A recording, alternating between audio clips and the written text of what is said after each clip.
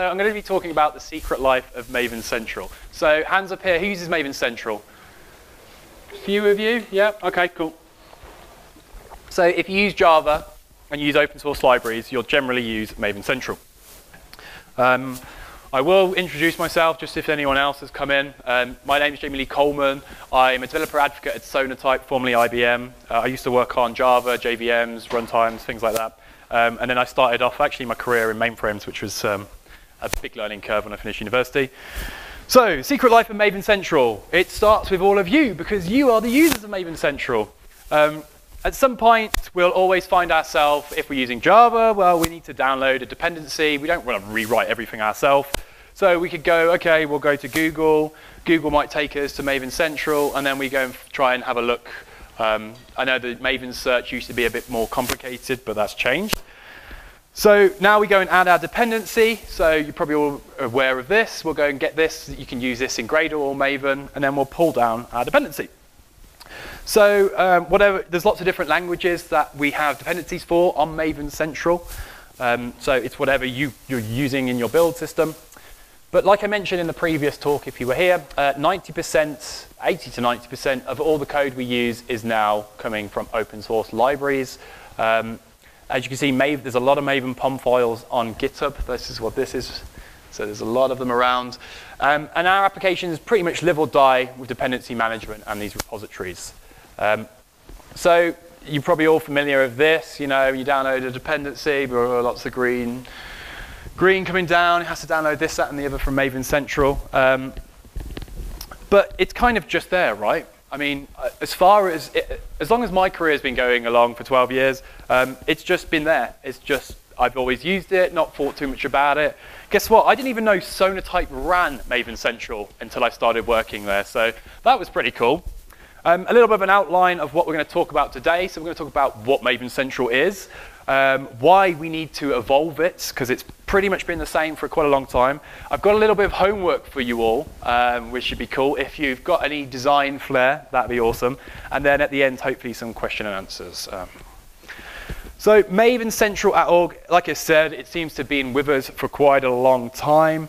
Um, I couldn't quite get it with the image, but this is what it used to look like. Uh, so maven.org, 1999 style. Um, it was created quite a while ago. And one of the co-founders, Brian Fox, who is my boss's boss's boss, technically, um, he, his, he was basically one of the cre creators of Maven, um, him and Jason. So Brian started off essentially when Maven was created, going around to different companies, trying to teach them how to use the build tool. Then he thought, okay, do you know what we need? A repository to store all this lovely open source code we're downloading. Um, so in 2005, this is when the Apache, Apache Maven project moved over, uh, moved home while Maven Central stayed, and this was still funded by public domain. But then it kind of outgrew that. Um, so now it's funded by Sonatype, and it has been for quite a long time. As you can imagine, we don't make any money off Maven Central. It's just something we do for the community. It costs us millions and millions um, a year. It's running on AWS, that's why. um, but this is made, yeah, it's now funded by Sonatype. Why? Well, like I said, we like to give back to the community as much as we can, and this is just one of the things we do for that. Um, but it kind of outgrew its origins. It got a big clunky. Um, it was basically sitting on a computer underneath Brian's desk for a, a year or so before we then realized it's probably best it moved somewhere else. So then it kind of ended up in the clouds. Um, what's running behind it? So if you've ever used Nexus repository before, this is also running here. Um, so essentially a publisher will publish it to Nexus repository. Fastly, um, Fastly will uh, basically give you the bucket to download it, and then we have some search capabilities. So it's all running on the cloud these days. Um, and a plus, of course, there's no, no good um, system without a good API behind it, so there's an API. But to give you some crazy numbers of Maven Central, um, this is the, so this is statistics from uh, last year. So there's 8.8 million component versions on Maven Central. That's 27 terabytes of data, um, and there's 79,000 uh, different organizations, namespaces, and publishers. So it's quite a lot. Um, and it's not slowing down, it is growing. Um, so in 2021, developers around the world uh, made more than 496 billion requests from Maven Central. So as you can imagine, serving all those requests can cost, cost quite a lot of money. Um, and demand does continue to increase as we go from month to month. Um, you can see the last month, we all get a bit lazy around Christmas time, but yeah, as you can see, it's gradually going up every, every time. And it's not just Java that this is happening. Um, open source is being consumed at massive rates these days. Um, so Java, you can see these are new projects. So there's new Java projects coming, new JavaScript projects coming, Python and .NET. So it's not slowing down. Our, our love for open source is only getting larger and larger. Um, so in the end, running a service like Maven Central is very, very expensive, but it's kind of the root of our business, really. Sonatype, again, my boss, he was the, one of the founders of Maven, so it's kind of at the heart of what we do. Um, there's one more thing that does cost, though. Um, you'll notice some of the slides are from the previous presentation, but that is keeping our applications safe. Like I said, um, hackers, bad actors are trying everything they can these days to um, us, so we have to adapt and be smarter than them. Maven Central does have multiple layers of protection. Um, the first is easy. You have to prove it's your domain. Name. So something like org.apache, something like that. Um, so proof of domain ownership, it helps reduce the malware ending up in the repository. We at Sonatype do not remove stuff from Maven Central if it's got a vulnerability in it. That is not our job. We do not want to be saying what update or what new version can go on Maven Central or not, because that is not fair on the publishers, that is not fair on the consumers, because there may be a vulnerability in a part of the dependency which a user is not using. So for, it's not in our case to say yes or no. Um, but these are different ways they are trying to do this. So dependency confusion, a lot, some of you, not all of you, will be downloading latest avoid doing that, please. Latest is not good because if you do download latest, you may end up with this version which a hacker has put in, and you're going to automatically pull that down with your vulnerability. Uh, you've also got typo squatting.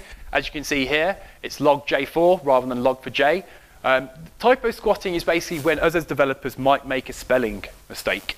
Um, and that's when we accidentally pull down the wrong dependency, like here and here. As you can see, Apache spelled wrong. And that would mean then we introduce a vulnerability into our system. So do be careful when you're specifying your dependencies, you're pulling the right one and typing it in the right way. Um, so the first two, Maven Central has defeated those. We don't generally have those problems. Um, but this first one, we because the domain there's a new domain. We cannot shepherd pe new people making new domains. Well, we can, but yeah. So this one, would you would still eventually get this downloaded. Whereas this, we will stop these because you need to be the owner of that domain. And um, for this one, yeah, we would say that's wrong. Now, there are different languages like Node which don't do this, uh, and Python, so do be careful because they do not have this in their open source um, repositories. So everything else is hard. Um, does the new package contain vulnerabilities when we download it? How do we figure that out? How do we stop the code being published? Does the new package contain active malware? Um, and again, that's probably one of the only things Sonatype do take a stance on, which is if we know there's malware in there, that's it. It shouldn't get uploaded. Um, and how do we figure all this out? How do we stop this bad code from essentially being published? So for Maven Central, Sonatype scans everything uploaded with its commercial scanners. We have an amazing research team, and honestly, if you, if you ever get a chance to look at one of their talks of how they do things, um, it's quite amazing how they find vulnerabilities in these things. But like I mentioned, malware, once we detect it, is the only thing um, we reject. But for Maven Central, um, finding out about vulnerabilities before you select a version is pretty straightforward. We have um, we have a tool called BOM Doctor, which is integrated with Maven Central, and we also do scoring on Maven Central. Um, the scoring takes into a lot of different considerations, so um, not only vulnerabilities, but it's how, what is the security posture of that um, dependency in that organization? How often is it updated? When a vulnerability comes out, how, oft, how quickly do they fix that vulnerability? So all these things go into kind of our scoring of the different libraries. But unfortunately, as, as developers, we're pretty slow to change. So who was aware of the log4j vulnerability that happened? Um, it was about a year, just over a year ago now, quite a few of you. Yeah, guess what? We're still downloading that stupid version. Today, 33% of developers are still downloading that version with that vulnerability in. This vulnerability, which took one of the biggest Java vulnerabilities in the world, took down a lot of corporations, but yet 33% of developers are still downloading that vulnerable version. Um, oh no, so that was in May. Uh, so no, not 33, sorry, we've got a bit better. It's 29% now. Um, can you see how many 157 million times that vulnerable version has been downloaded. So we need to get very, we need to get better as developers as stop doing this and making sure we're put, not pulling in vulnerable, vulnerable versions. And so this was a graph, oh, it's quite small, but the yellow line, for example, shows when, when it becomes a problem, that's when we deal with it. So the yellow graph, I think, was Taiwan and Taiwan was getting hacked by China quite a lot because of the vulnerability in Log4j. And now they don't download it anymore because they got hit and they realized, okay, this is why, so we're going to stop doing this. Um, but the problem is with humans, we are a reactive race rather than a proactive race. We deal with the problem when it's a problem rather than dealing, tending to deal with it before it's a problem. So um, do check to make sure you're not downloading any vulnerable uh, Log4j but like I said, the bad guys have adapted. Um, they're not the same as they were before. Cyber attacks have changed. Um, cyber attacks used to be about money, trying to make money, whereas now you'll find that governments are hacking people. Um, it's now about sabotage. So they could be attacking your critical infrastructure, they could be attacking your manufacturing facilities, your food supply chains, um, and they're doing this basically to try and cripple different countries. And they're being clever. They can put a vulnerability in and not even exploit it for six months. And then when you're doing something important in your country, it could be like a festival or something like that, boom, they hit the button, it shuts down your infrastructure. So hackers have changed. Um, so we need to change as well. And yeah, like I mentioned, they, they might wait a long time. You know, they could hack your supply chains. So when you're when factories are delivering to lots of different shops, etc., next thing you know, um, they could have hacked into that delivery service, and all your deliveries end up going to the wrong places. And guess what? We don't have any food on our shelves. So, yeah, they are getting very clever. Um, the field of battle has changed, uh, like I mentioned, as typo squatting and dependency confusion. But there's also vulnerability exploitation, vulnerability research. Um, they're now compromising our build systems. How many people use open source build systems or a free open source build tool at any point in your development? They can hack those as well now. So not only uh, they hack, trying to hack our open source libraries, but they could be hacking the tools that we're using to build our applications. Because um, if it's open source, then it's open for anyone to put a vulnerability in. Um, so yeah, we do have to be very, very careful. Now, Maven Central is evolving to try and stop this, or to try and help you all deal with these problems. Um, like I mentioned, they're trying to get into every different part of our supply chain nowadays. So Maven Central has finally gone and rebranded itself a little bit. Um, you probably all remember what Maven Central used to look like. So after 12 years, we thought we'd finally um, give it a little update. So there's a sign-in functionality, the search functionality's got a lot better. And like I said, it has um, different APIs for you to be able to use. So it has SBOM support across across the life cycle. Um, the Wi-Fi here is absolutely terrible, so I'm going to try and give you a demo about um, a wicked tool called BOM Doctor, which is free to use, but we will see um, if my Wi-Fi is back on. Um, it has SigStore support. Um, also, we try and use best uh, cross-industry best practices. Sonatype is involved in the Open Source Security Foundation and lots of other places. And of course, we have um, enhanced developer intelligence. So essentially, yeah, looking at uh, what the application does, scanning it, making sure we're, uh, we're doing things in the right way. So like I mentioned, um, having things like this, which will allow you to see how many critical vulnerabilities, how many high, how many medium, are these going to be a problem? Am I using that issue? Because we'll download, for example, a Spring Boot dependency, and that will include another 10 dependencies. And those dependencies might include another 10 dependencies. So trying to manage the security of all these can get very confusing, but that's where the different tools come into play to help us do that. Um, so, yep, like I mentioned, uh, we've got different tools we can use to assess the quality. So Cloud Monitor's one. Um, and hopefully, like I said, I'll try and show you BOM Doctor if the internet is working. Um, but we take into things into a lot of consideration. So we'll scan each version and try and figure out what is the best version because the latest version is not always the best version. Um, do bear in mind though, you can have breaking changes when you move around. Um, so yeah, right. Let me try and click on this and see if this works. Oh, of course it doesn't. Bear with me one moment and let's see if I can get this loaded. If not, it doesn't look like we will have a demo here today. Come on. Uh, while this is connecting, are you all enjoying the conference so far? Yeah? I hope so. Come on. Okay.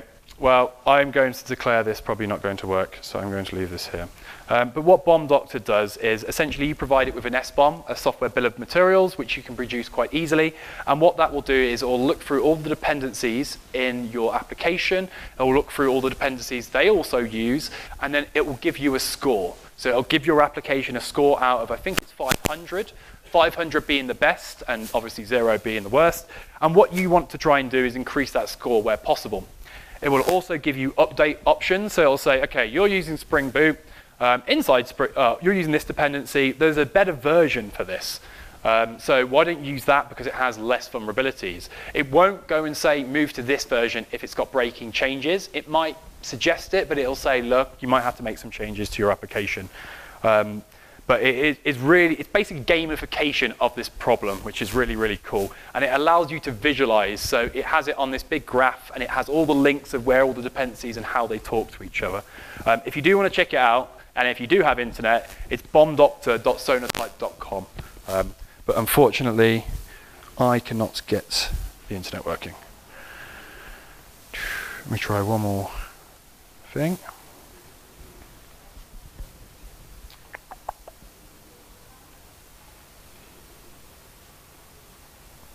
All right. I think I'm going to give up on the internet.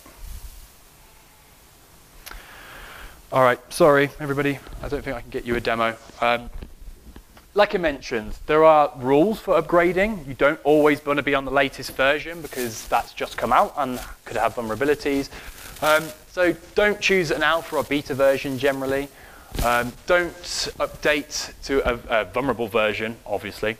Um, you can update to a lower risk version, so you don't always have to be at the highest level version. Sometimes it's better to be on a version that, you know, could be six months old because then all the vulnerabilities might be found if there are any, and that version, you know, you might be able to pick up a version just after that that might have um, less vulnerabilities. Um, if, has anyone, oh, well, do check out this. This is a report um, we do every year, and it kind of looks at the kind of the state of the supply chain, um, the software supply chain. It goes through loads and loads of different things, um, talks about kind of how much open source code we're using, how many vulnerabilities are around, how, much, how many vulnerabilities we're downloading, um, and we compile it once a year. And of course, because we are the chaperones and the basically the stewards of Maven Central, we have a lot of data, a lot of data to back all this up. We can see who's downloading what, how much people are downloading, what versions are vulnerable. Um, so do check out our software supply chain because it takes a lot of this data and puts it into a nice, easy place to get started with. Um, one last thing, because I don't have the demo to show you, um, we need a logo for Maven Central. As you can see, we have a logo for Maven, um, we have a Sonatype logo, but we don't actually have a logo for Maven Central. Now, on the back of this, this was supposed to... We were thinking of having this as our Maven Central logo, but being an open source repository, we want to get everyone else's opinions. Um, and we want everyone else to contribute. So if you have any great ideas for what you think a really good logo would be for Maven Central, please do either tweet me, tweet Sonatype, um, and yeah, we'll take it into consideration because the Maven Central logo has been pretty bland for a long time, you know, just a few lines. So we want to create something new. And like I said, being open source, we want everyone uh, to participate. Um, so like I said, reach out to me. You can either tweet me uh, or tweet um, or tweet Sonatype or tweet uh, message me on LinkedIn. Um, if you want to sign up, you don't need to sign up for beta access. The Maven Central portal is now completely out. So if you go to Maven Central, it should divert you to the new portal. Um, you can go back if you really want the old one. It's entirely up to you. I think with that, uh, we are done. Thank you for having me here. It's been an absolute pleasure to come to India, uh, and it's been an amazing conference. Thank you all.